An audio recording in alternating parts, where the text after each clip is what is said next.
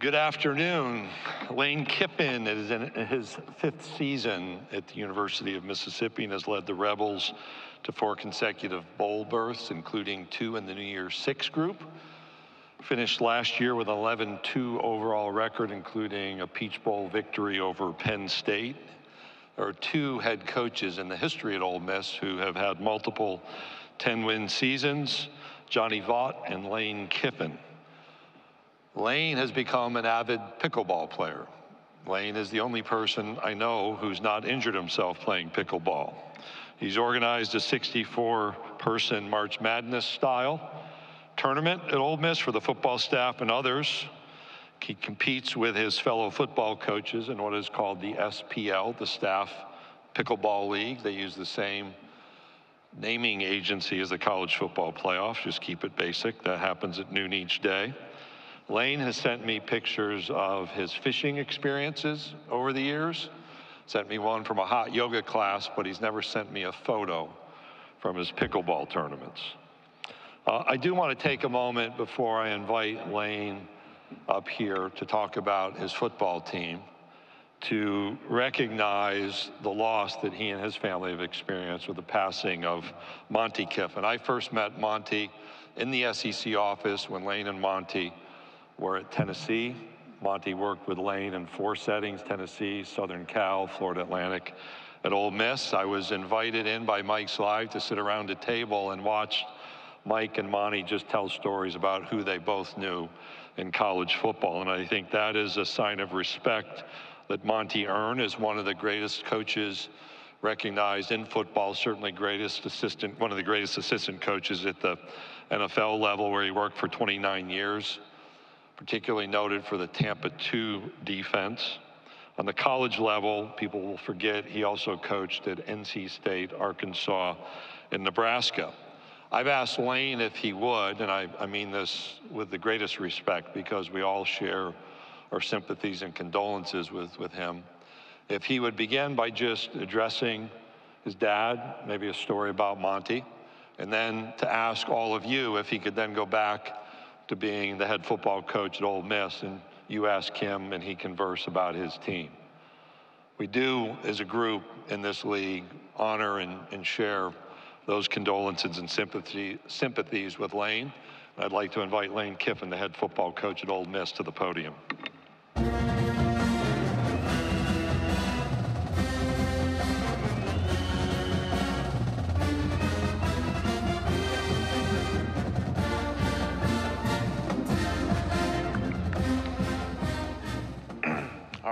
Thank you, Commissioner. Uh, I appreciate that. Um, really grateful and thankful to so many people that have supported this challenging week um, from all over the country, especially Oxford and, and Ole Miss community and, and church yesterday, and even Pastor Fish afterwards coming over uh, with myself and mom was really special. And um, it's just, it's been an amazing outpouring of support, of stories um, from former players, former coaches, and especially former staff of people in the building and how many friends came out of that and and the Bucs community and, and family. So in my opinion, it's not really the place or the time um, to go into a lot on this. You know, that'll be Saturday in Tampa and you know, so I'll just say one thing. Um, I've talked before about being my hero. I had a high school neighborhood friend, really middle school friend, and he said hero's not really the right term for him. It's superhero. To, and that's what he was to the people that he touched. And, and he used this term, and now I'm using this term in description of him because I really feel like you know, there's very few superheroes and very few great ones that, you know, loved everyone and tried to help everyone they came in touch with forever. Whether you were big or small, wherever you were, he tried to help. And um, one person said, you know, which I think is telling for those that you don't know him, and I thought this was very descriptive.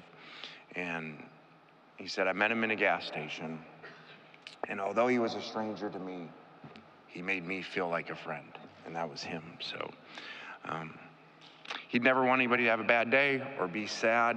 So this is me trying to do that, and I appreciate everything. And there's already been a lot of questions about it, so I understand that. I'm appreciative of that, but um, as he would say, you know, his first rule when he put on the chalkboard back in the day was to all players and coaches was to show up.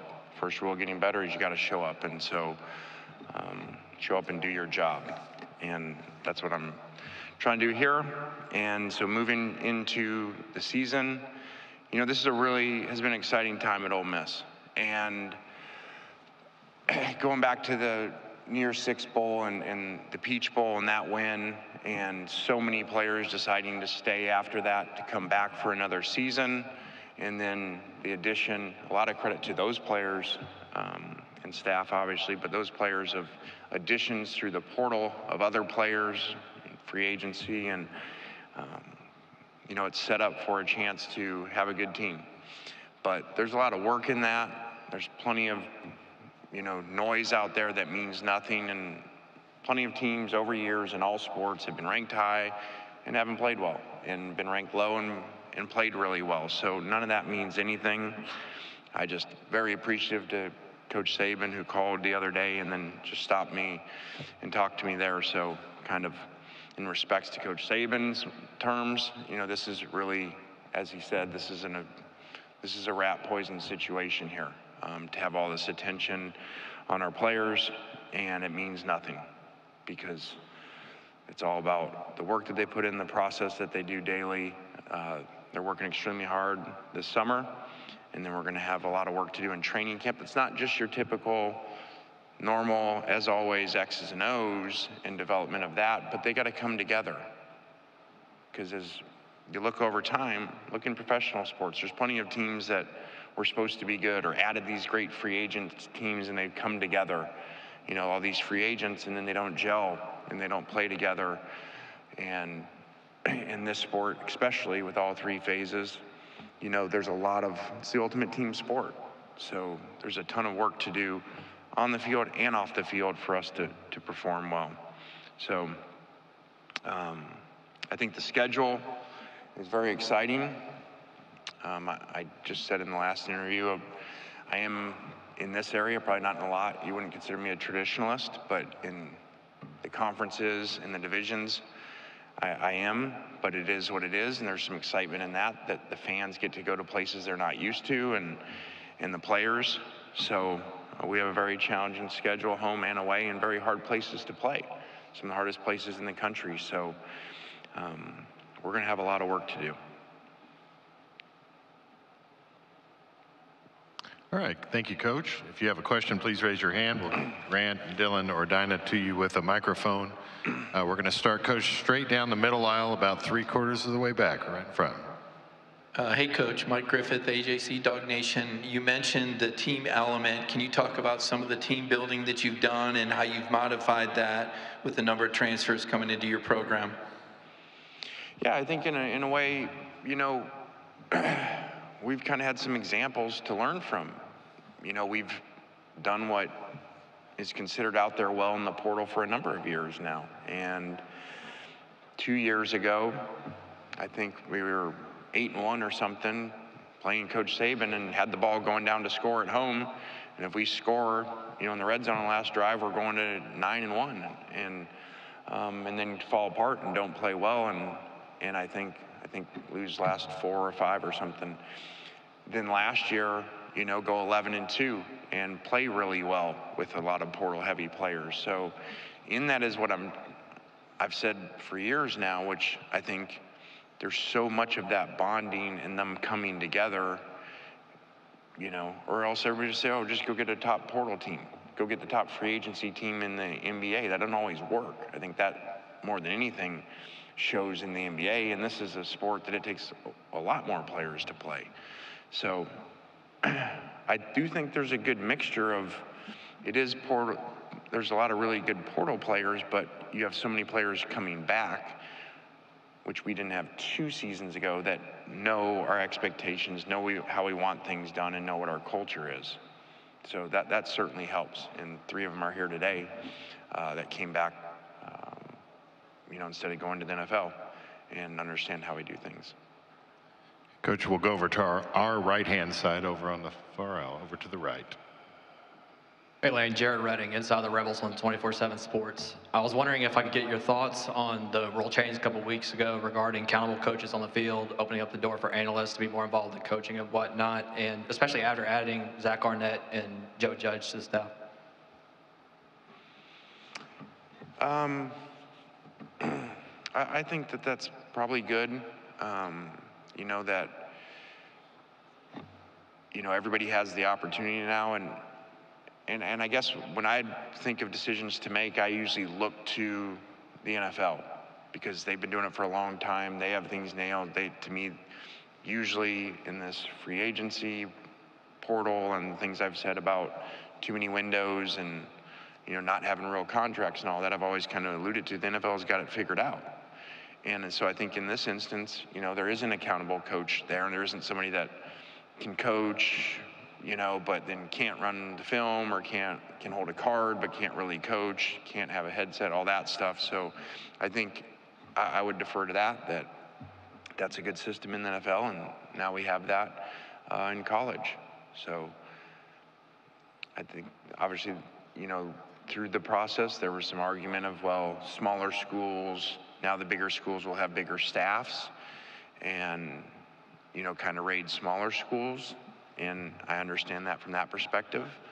But at the same time, too, they're getting opportunities now at the bigger schools where a lot of times they were coming anyway, and now they can they can do all the coaching um, responsibilities and further their career. Coach, we'll go over to our left over here on this far aisle. Uh, good morning, Coach Kiffin. Uh, can you talk about Jackson Dart? You've had a long history of developing quarterbacks at a high level. Uh, he performed well last year with only five interceptions and over 3,300 yards.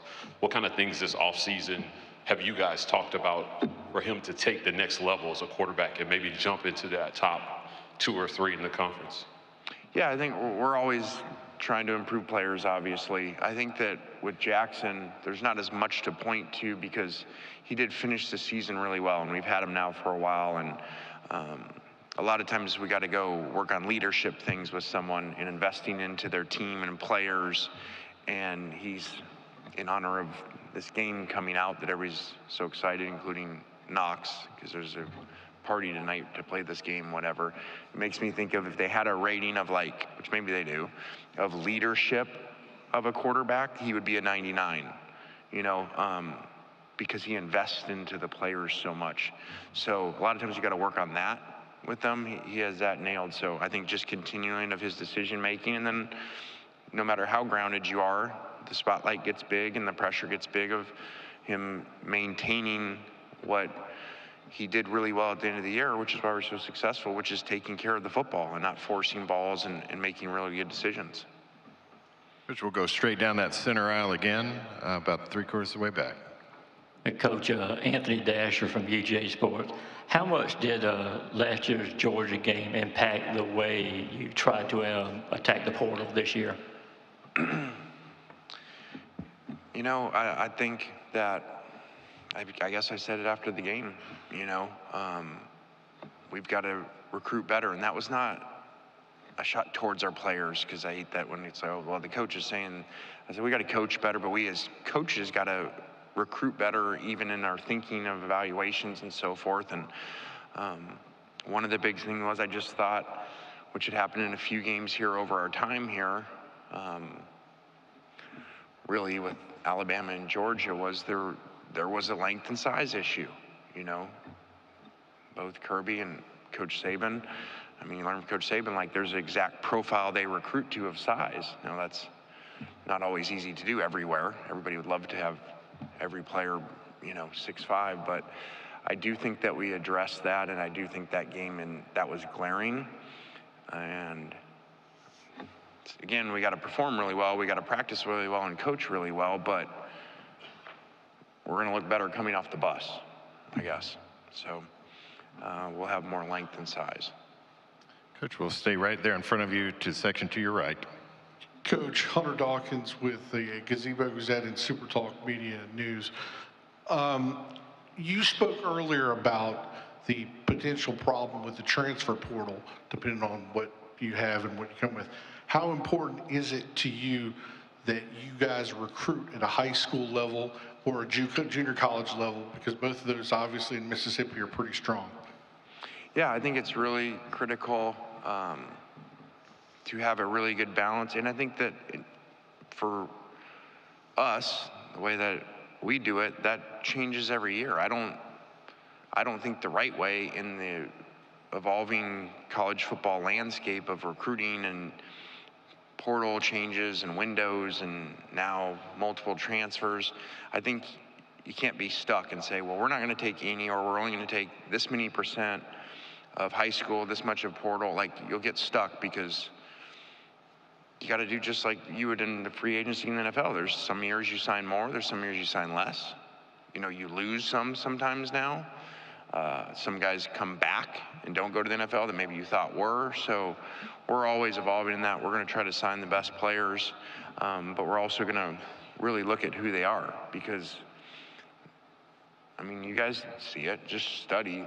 The answer isn't just be the best portal classes because there's some really good high school signing classes and some really good portal classes and you know they didn't have great seasons. There's a lot to that too in the right makeup of the guys um, that you sign so especially in the portal to me i think you got to be really careful and really good job of evaluating who they are why they left where they left what do they want to do um, so that when you do hit some tough times that they are the right type of players that are there um, to help themselves, but to help the team also.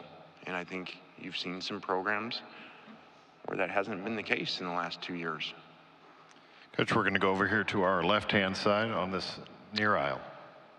Hey, Coach. Chris Phillips, SEC Unfiltered. You added Pooh Paul Jr. out of the transfer portal, the linebacker spot. Just talk about what you've seen from him to this point and what you're expecting from him, not just as a player, but as a leader as well for your defense. Yeah, I think that's now that we are like the NFL when it comes to free agency and all this. Um, I think that was a similar to what happens a lot in the NFL. You know, you play against somebody, and then they they go they're up for free agency that year, and they're a rival, and so you seem feel like you know them well, especially as an offensive head coach. Going against him, playing him, then he got injured later in our game. We were able to run the ball a lot better when he was out, and just seeing his impact. So when he became available in free agency, you know, um, we already knew about him that way. So we're really glad to have him. Coach, we'll go in the section right in front of you to the right, second row. Coach Kiffin, thank you for being here. Um, you and Coach Sarkisian share a similar past. Your quarterbacks coached at USC. You coached under Nick Saban at Alabama. As Texas comes into the SEC, what challenges do they face? And are, like everyone's talking about, are they real contenders like what people see, but from a coaching perspective, they have a real serious chance at going pretty high this season? Yeah, I mean, they were in the Final Four last year, and a lot of players coming back and added, continued to add great high school players and portal players. So um, I, th- I think they're one of the elite rosters in America. So I, I don't, you know, Sark would know well the challenges, so it's not like he's coming with a team in the SEC that, with a coach that hasn't been. So I think he understands that, and um, that conference was competitive too. So he had tough games there and tough places to play on the road there. Um, this is just, it's just different, and the SEC is really challenging. And I mean, study, study road records and study road records at night in the SEC. And why do those percentages change? They percentage because they're really good players, but they're really hard places to play with electric atmospheres that are challenging um, to play in. So you, you just, you come in this conference, you get that more. Okay, Coach, we'll go right in front of me, uh, right here in the front row. Tom? Hey, Lane, Tom Murphy, Arkansas Democrat Gazette. Wanted to follow up on the Chris Paul question. What you saw from the, him in the spring, what role he might play for you. And part two, you've had four pretty wild games against Arkansas. Just maybe your thoughts on you know what that rivalry's been like with Sam Pittman teams. Yeah, that has been um, a rivalry that continues with this changing of division. So I guess for the next two seasons at least, um, which is exciting. I, as I said in that previous interview, when they talked about the no more divisions, and obviously we understand why that was done, but um, there's some really cool rivalries that don't take place now. And um, whether that's people changing conferences that don't take place, that have taken place for a long time, but even within the conferences. And so as you allude to that, that's that's exciting that they're still on there because there have been extremely competitive games. Um, you know, two very passionate fan bases, and um, so I'm glad they're still on there from a standpoint of, you know, keeping some tradition of who we play every year. Hey, Coach, we'll stay in the same section, just on the other side of the aisle. Coach, right here. Straight down. Kevin Sherrington, Dallas Morning News. Um, you commented on what the challenges would be for Texas um, coming to the SEC. I just wonder what your thoughts are personally about Texas and Oklahoma both coming to the SEC, and what do you think that does for the league, uh, if anything? Well, I think the co- commissioner has done an amazing job. That was actually in my notes to say to thank him, um, you know, for how he continues to push our conference as the elite conference in college football. And then I got a little flustered there, as maybe you could imagine, and forgot to say that. Um, so that, that's just really exciting. You know, you talk about two of the top programs in the history of college football, and then as I look at things too, like I said earlier, places that are really hard to play.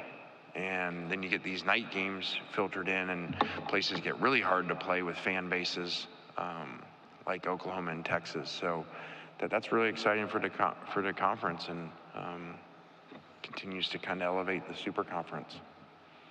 Coach, we'll go back over to our far right-hand side. Far right. Lane, uh, John Sokoloff with uh, WCBI. Obviously, with Ole Miss, you, you've done a good job of getting a lot of rushing yards with, with your teams in the past couple of years. How confident are you that you guys will be able to kind of fill the void of, of Quinshon Judkins when you consider the guys that you brought in from the portal, who you have on the roster at running back, and et cetera? Well, Quinshon's a great player, one of the best players in all of college football. And um, as we alluded to earlier, we're in an NFL world where it's not like, yo, you just go to the portal and you get everybody and nobody comes and gets your guys. I mean, it's free agency. And um, so we wish him the best. That's very hard to replace. Uh, we have a number of guys that we're excited about, some that have some health issues that we're going to have to work through through training camp and even into the season. Um, and we're just always going to try to find the best way to win. And for those of you that covered our teams over the years or even our offenses at places over the years, that can look very different year to year. You know, um, if you go back even to Alabama, those three offenses look very different. So um, I don't know. We'll find out what that is, and um, we'll always evolve as coaches to work our offense and our systems around the players so that we perform the best to win the most games, even if that doesn't look the same. Coach, we'll go straight down the middle aisle, about four rows back. Coach Kiffin, Emily Grace McQuarter from the next round. You've used the term rat poison a lot in these last few weeks. Realistically, in a time where your players and staff can see what is being said about them on social media, how do you realistically contain that in your program over the next month? Yeah, I don't know that you completely contain it. You just continue to talk about it and kind of like in parenting, you just continue to hit on it and hope that it sticks. Um, and I mean, on the plane ride down here with the three of them, uh, just continue to remind them about that. You know, um, that doesn't mean anything, you know, and nowadays it's harder, as you mentioned, because it's coming to their phones all day long and how great they are, or you're not ranked here and you're supposed to be ranked here as the receiver or any of that stuff. And just continue to remind, I get it. We're all humans. Like you read stuff, it starts to you start to believe it when you see it enough. But you just got to continue to remind them that really means nothing. It really doesn't. Okay, we'll go straight in front of me here on the near aisle. You have a question in this area, right there, Brent. Brent Barry. Yeah, Lane, Berry Tramel with the Tulsa World. Well, you in Texas are excited to be here. The conference seems excited to have them. But as the coach of a program that's really built up and gotten near the top, does this just make your job that much tougher? Um, yeah, I think that's fair. You know, um, it, it does make it more challenging if you bring in two, you know, national traditional powers of Heisman's and stadium size and tradition. Um, yeah, it makes our jobs more challenging.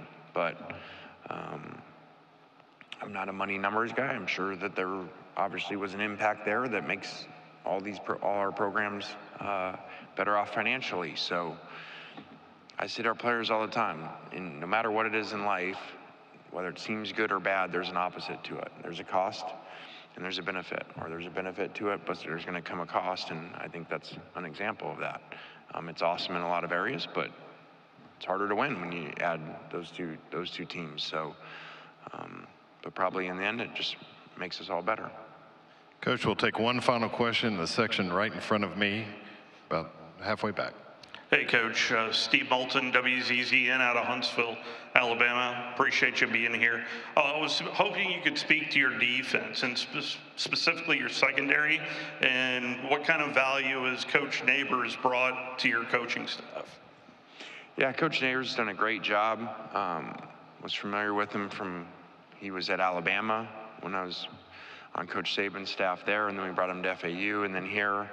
Um, and he does a great job. I'm, I'm excited about our defense, you know, because there's so many, a lot more new parts on defense and offense. So um, it's just excited to see them play together and how we're going to use them exactly because um, there's some really unique players that we added in there. Coach Kiffin, thank you for your time today. All right, guys, thank you. Have a good week.